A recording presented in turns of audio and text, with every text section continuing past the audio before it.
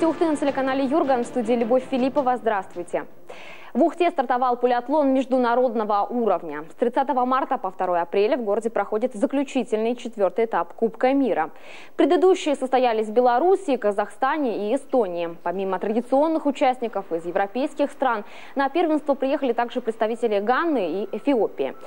Интерес к соревнованию высок, ведь оно позволит спортсменам получить спортивные звания вплоть до мастера спорта международного класса.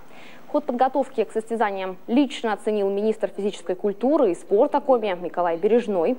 Так спортсмены размещены в профилактории «Крахаль». Для всех организовано питание. До мест проведения соревнований курсируют специальные автобусы. Стрельба и силовая гимнастика в спортивном комплексе «Буревестник» пройдут в разные дни. А в заключительный день международное соревнование примет лыжная база «Сияние Севера» в поселке Шудаяк. В Ухтинском доме молодежи под патронажем Совета ветеранов и Управления культуры прошел фестиваль военно-патриотической песни. В нем приняли участие представители первичных и клубных ветеранских организаций, а также национально-культурных автономий украинцев, белорусов, татар и башкиров. Приурочили же празднество к 72-й годовщине Победы и 50-летию ветеранского движения. Вокальное мастерство участников оценил и Константин Куратов. Вроде и все слова песен, традиционно исполняющихся на празднике в честь Дня Победы, давно знакомы, но слушаются они сейчас как в первый раз. Все потому, что на нынешнем концерте часть номеров исполняют в том числе и сами ветераны, искренне и от души.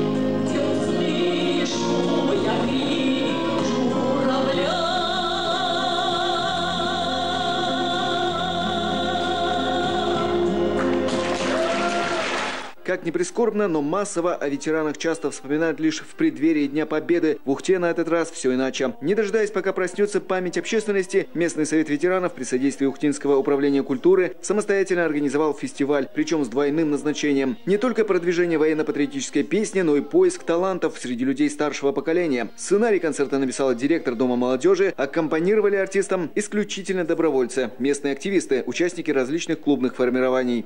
Вы знаете, для самих ветеранов и участников вот э, этого фестиваля эта песня была ну, настолько важна. А, многие из них пережили это. У многих э, были родители, э, которые участвовали в Великой Отечественной войне. Были те люди, которые родились в годы войны. Вот песня звучала от одного участника коми-центра «Я родился в конце войны». Ну, он действительно это было так. Он родился в конце войны, и вот он спел такое произведение. Самое удивительное, как вы правильно совершенно заметили, что праздник, он как бы не плановый. Вроде не 9 мая, не день пожилого человека, и вдруг мы э, приходим на праздник, который очень искренний, наполнен самыми искренними эмоциями, песни, которые э, являются золотым фондом нашей культуры, нашей нации. Это наша история, и это не прошлое, это именно история, которая позволяет нам сегодня оставаться э, россиянами, людьми с большой историей и с большим потенциалом прошлого, ну не прошлого, это вот именно история, потому что они сегодняшние, они здесь есть, и очень жаль, что сегодня в зале нет молодежи. Я понимаю, наверное, что это немножко мероприятие, где в основном участвуют пенсионеры и ветераны, но нельзя прерывать связь поколений. Едва сдерживая слезы, участники подтверждают, года в этом деле не главное. Не только любви, но и таланту все возрасты покорны. Константин Куратов, Андрей Пахомов, Олег Беликеев, телеканал Юрган Ухта. А тем временем в соседнем Сосногорском районе продолжается эстафета «Знамя Победы». До 9 мая копия легендарного знамени побывает во всех образовательных учреждениях района. Напомним, старт Всероссийской патриотической эстафете дали в рамках патриотического сбора «Отчизны. Верные сыны». Первой копию, копию Знамени Победы приняла Сосногорская школа номер один. Шагом, марш!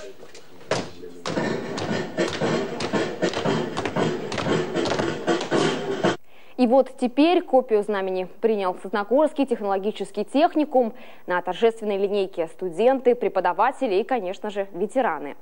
Непосредственный участник Великой Отечественной Михаил Сорокваша отмечает, что он всегда с большим удовольствием встречается с молодежью, чтобы рассказать ей о том, как наша страна пришла к победе. И вот Рейстаг появился на горизонте. Но до Рейстага шли еще полмесяца и командующий пятой ударной армией Первого Белорусского фронта издал указание. Дивизия, полк и батальон, чьи войска вступят в Рейстаг и поднимут знамя победы над Рейстагом, будет представлены званию Героя Советского Союза.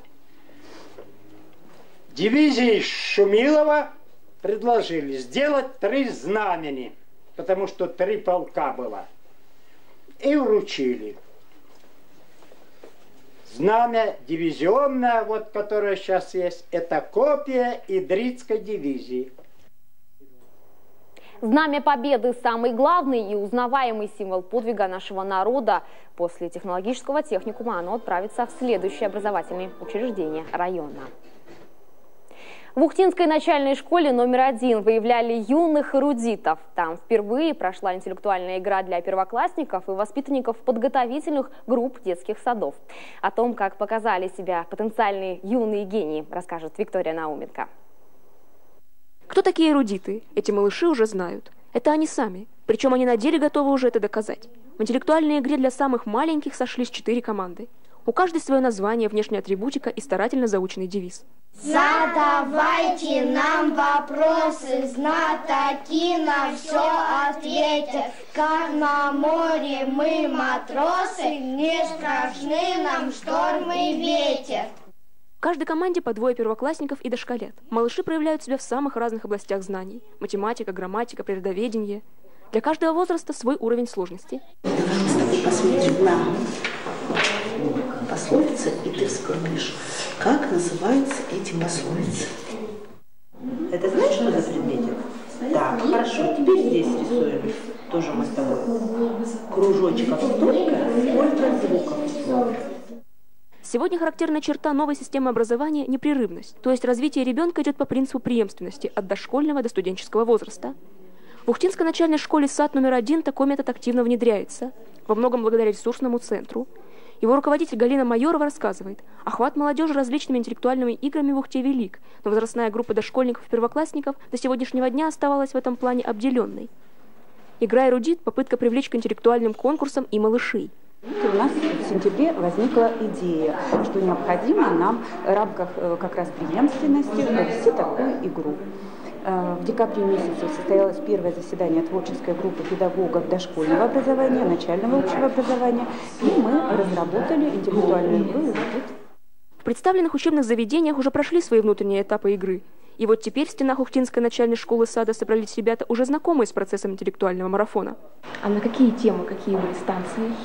Была АБВГД, калейдоскоп, мир вокруг нас, и Цифроград. А какая вам больше всего понравилась? Мне все понравилось. Мне тоже все. Для меня были некоторые сложными задания. А для меня нет. Ни одного. В планах у педагогов охватить этой игрой все без исключения детские сады и школы города. А потому здесь решено проводить интеллектуальный марафон три раза в год. Успешное начало положено, а значит игра эрудит вполне может стать доброй традицией. Виктория Науменко, Олег Белькеев, телеканал Юрган, Ухта. Ухтинский активист Евгений Грох, известный по своей серии интервью с непосредственными участниками Великой Отечественной войны, выпустил новое видео, и на этот раз на другую тематику. Главным действующим лицом его новой работы стала чум-работница Павла Николаевна Литкова.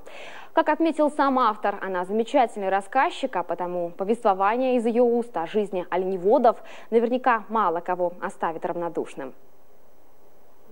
Воркутинский район, недалеко от станции Ашвор. Именно здесь в эти дни пока еще стоит стадо, в котором уже много лет работает чумработницей Павла Литкова. Сама она дочь потомственных оленеводов. Все ее раннее детство прошло здесь, на бескрайних просторах. Родные места она покидала лишь раз, на период учебы. Но и тогда зов природы был слишком велик. Я даже в школе всегда думала, как там меняется природа и что там случается, а мы здесь находимся, сидим тут на уроках, учим чего-то.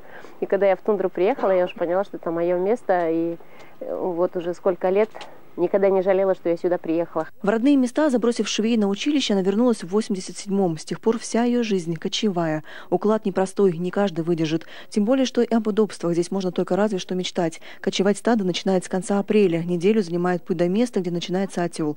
Там месяц отдыха и снова в путь. Кочевка на летние места в сторону Карского моря.